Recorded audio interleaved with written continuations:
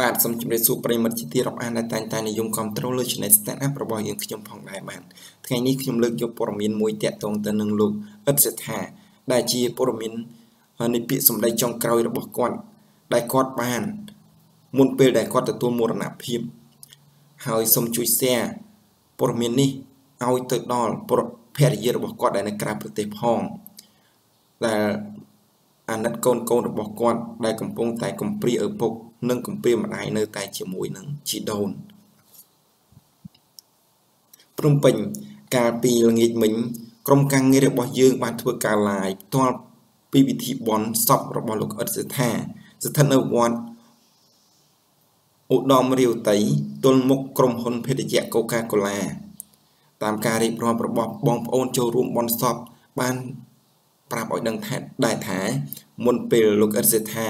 បានចែកឋានទៅគាត់បានប្រាប់ថាគាត់ហត់នឿយមែនតែនតែគាត់ត្រូវតែប្រឹងប្រែងសម្រាប់កូនរបស់គាត់ហើយគាត់ថាកុំតន់យកខ្ញុំទៅអី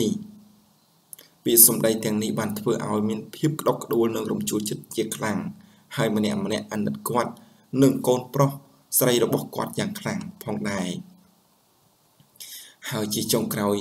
ខ្ញុំបាទសូមสนុំពរឲ្យបងប្អូនជួយចែករំលែកនិងនិងបញ្ជូនព័ត៌មាននេះទៅដល់ភរិយារបស់គាត់នៅឯក្រៅប្រទេសផងហើយខ្ញុំសង្ឃឹមថា មានសប្បុរសជនជាច្រើនបានជួយឧបត្ថម្ភដល់ក្រុមគ្រួសាររបស់គាត់គួរបញ្ជាក់ផងដែរថាសពរបស់លោកអ៊ិតសេដ្ឋានឹងតម្កល់នៅក្នុងវត្តឧត្តមរាវតីហៅថាវត្តគីឡូម៉ែត្រលេខ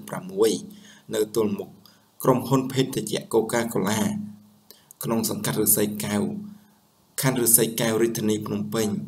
ដូច្នេះខ្ញុំសូមសពរដ្ឋធម៌ទាំងអស់សូមមេត្តាជួយ ចូលរួមនិងបរិច្ចាគថវិកាដោយសារតែក្រុមគ្រួសាររបស់លោកអ៊ិតសេដ្ឋាកំពុងតែមានការខ្វះខាតបាទនេះជាព័ត៌មានទី1ដែលតាក់ទងទៅនឹងលោកអ៊ិតសេដ្ឋាអញ្ចឹងព័ត៌មានទី1នេះក៏បានបញ្ចប់ផងដែរ